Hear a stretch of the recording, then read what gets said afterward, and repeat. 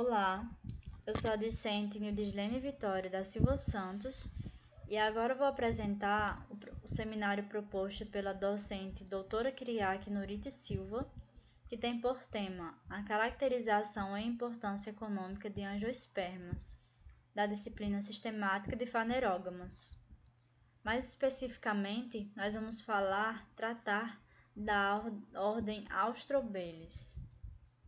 Então, adentrando as características principais da ordem, Austrobelis é caracterizada por plantas, por ter plantas com flores pertencentes ao grupo das angiospermas basais, pertencentes ao clado Ana. Isso segundo o sistema APG4.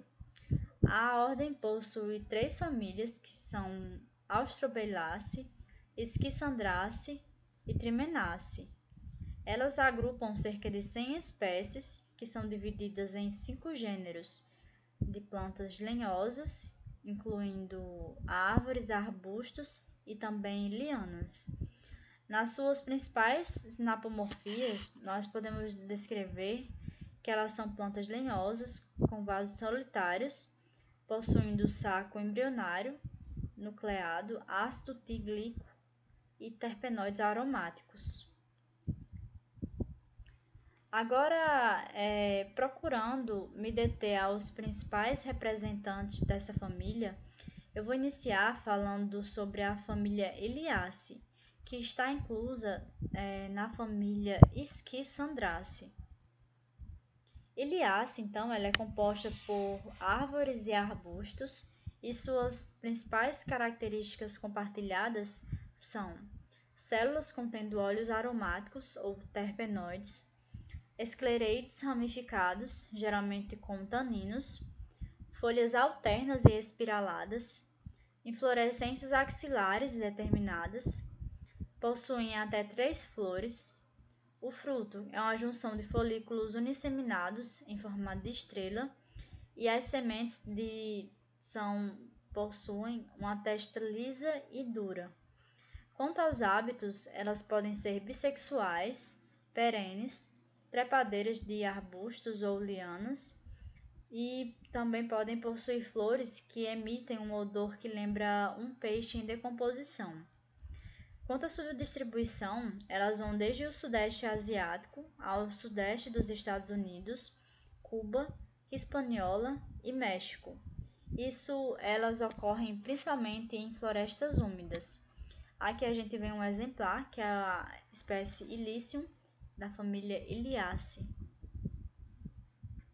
Quanto à sua importância econômica é, de Iliace, a gente pode citar aqui o anis estrelado, ou Ilicium verum, como principal representante, porque ele é conhecido por ter diversas propriedades, sendo dentre elas antisséptica, anti-inflamatória, calmante, digestiva e também diurética.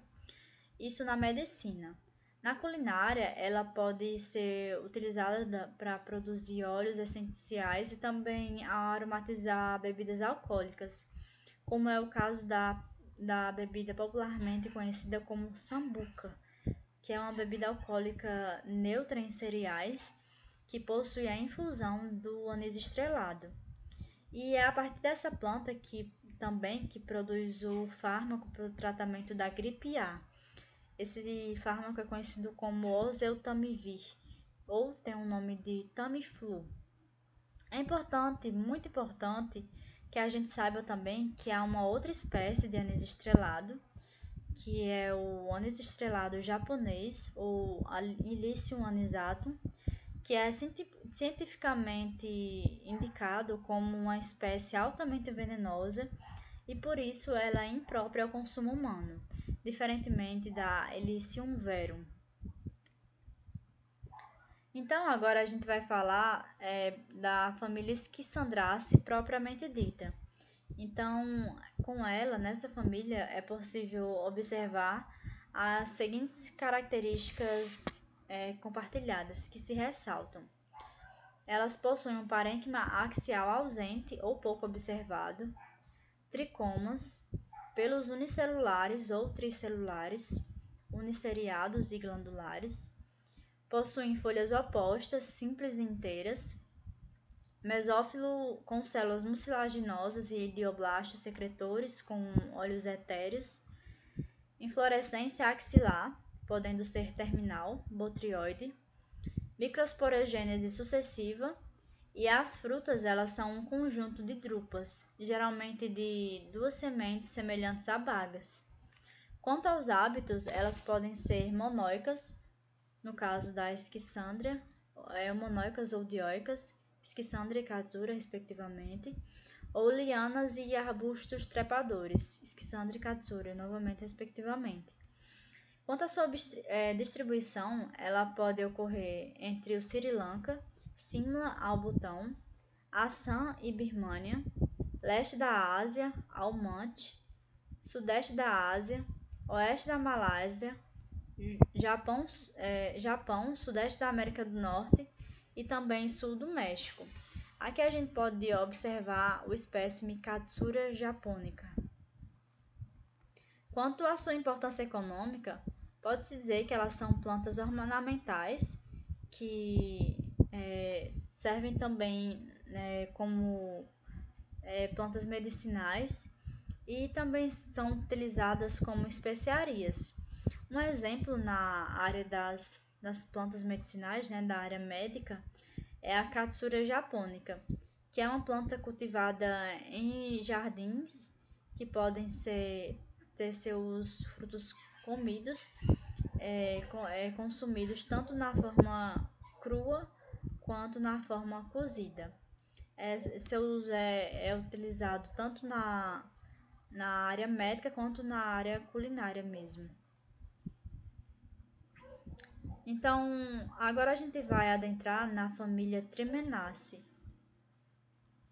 Quanto às características compartilhadas de Trimenaceae que se sobressaem, nós podemos citar folhas opostas, simples ou inteiras, venação pinnada, broquiodódroma, complexos de células de óleo etéreas, mesófilo com células mucilaginosas e idioblastos secretores com óleos etéreos, inflorescência axilar, podendo ser terminal, botrioide, microsporogênese sucessiva, flores masculinas, muitas vezes com pistilódio. O fruto é uma baga. As sementes têm estrutura anular em forma de capuz. Agora, observando os hábitos, a gente pode ver que elas são bissexuais, monóicas, andromonóicas, poligamomonóicas dioicas ou pologamodioicas. Podem ser árvores perenes, arbustos ou lianas. Sua distribuição dá-se desde o sudeste de Queensland, Sulawesi e Molucas, ao leste de Fiji, Samoa e ocorrem também nas Ilhas Marquesas. Aqui a gente pode ver um espécime, que é a Trimenia neocaledonica mangelia, é, tirada aqui é, pelo fotógrafo John Thomas Johansen, em 2014. Quanto à sua importância econômica, é possível observar que essa espécie aqui da foto, a Trimenia papuana, ela é usada como remédio contra a disenteria na farmacopeia tradicional da Nova Guiné e a sua madeira também é utilizada na montagem de cercas e em construções. É isso, muitíssimo obrigada. Aqui a gente pode observar as referências utilizadas na construção, tanto do trabalho escrito quanto do seminário aqui apresentado.